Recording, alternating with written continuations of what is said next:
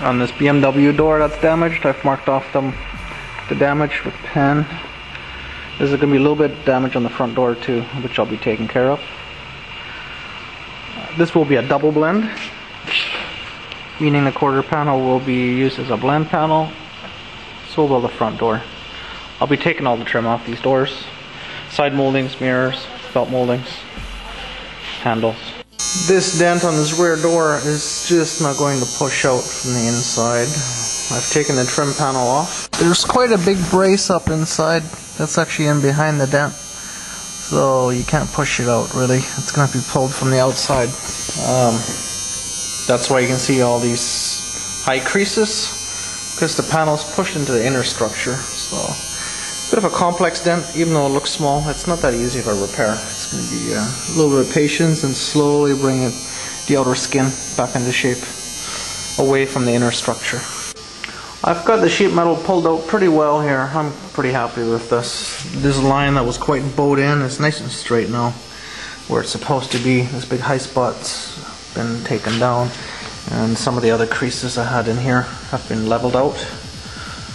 Um, so that's okay. I'm pretty happy with that. So it's going to be a skim coat of filler just to level some of the low spots off. And then it's ready for primer. Makes for a nice clean repair without adding a whole lot of body filler or beating the sheet metal, distorting the sheet metal too much.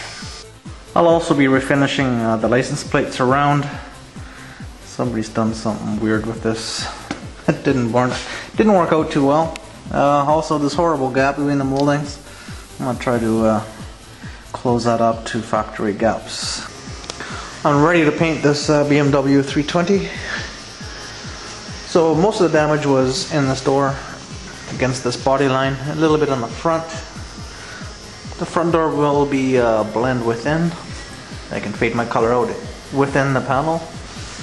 And the rear door, that's too close to the quarter panel to save it from not blending. So my color will just transfer over past the door edge, door gap, into the quarter panel. And that'll make for a really smooth color transition. Most of the color has been applied now. I'm still blending out the color a little bit get rid of some of the shadowy uh, areas.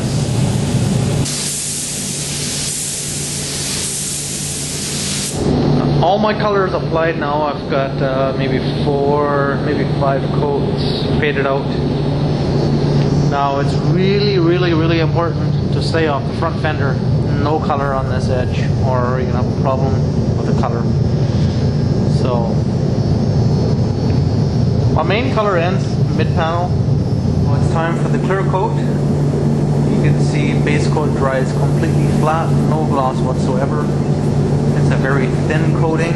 It's just color pigment uh, to get the deep gloss and the durability. It needs to be clear coated. Um, we'll be putting two coats of high build, high solids clear coat on it, equivalent to three, four coats of the old style clear, which doesn't meet uh, Enviro standards anymore.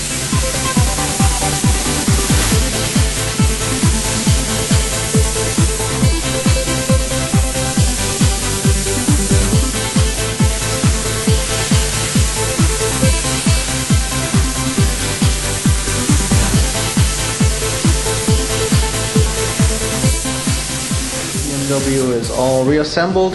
Uh, it's ready for cleanup. Everything's worked out really well. Side moldings are on. Handles are back on. No trace of any painting on the gasket. Looks really good. Body works good. Nice and straight. Paint's pretty even. Happy with that. And the color is all good. Front bumper trim is refinished, textured and refinished, and I've put the proper gap back into the moldings, both sides. So that looks way better. Put the license plate on.